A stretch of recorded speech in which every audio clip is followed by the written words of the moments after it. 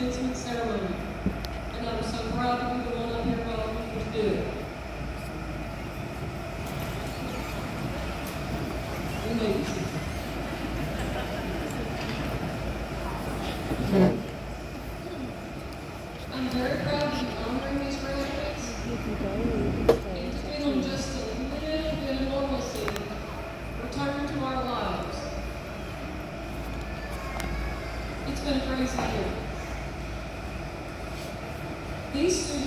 recently got to enjoy prom, the baccalaureate ceremony, and now we are having graduation with no seating restrictions and mask adoption.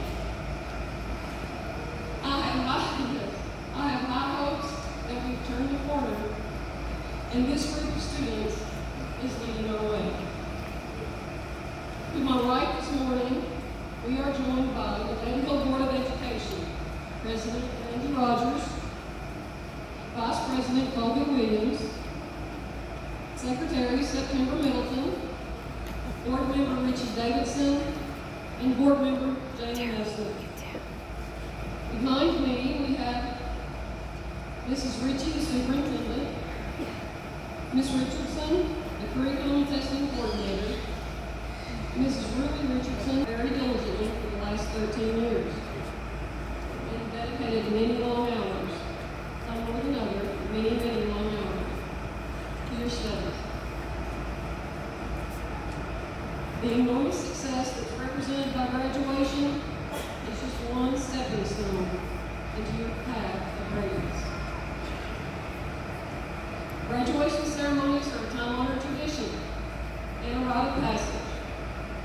It is most definitely a time for celebrating and for giving thanks.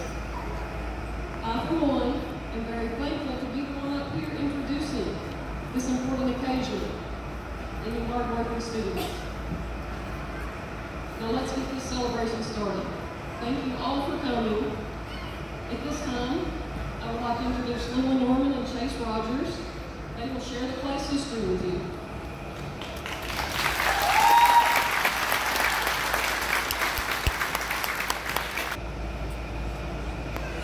Tenth grade year, Carter High School, officially order for ceremony.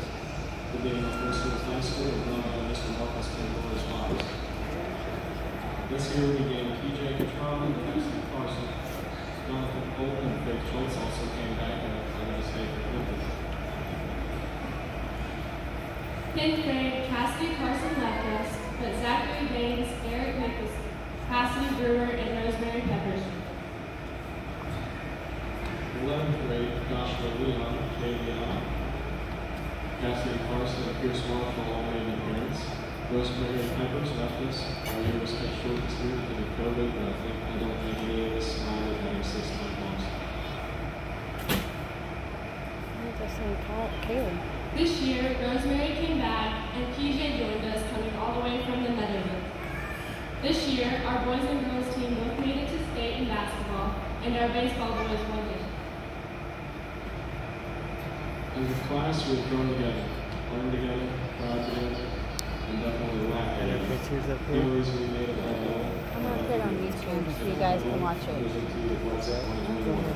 No, I thought.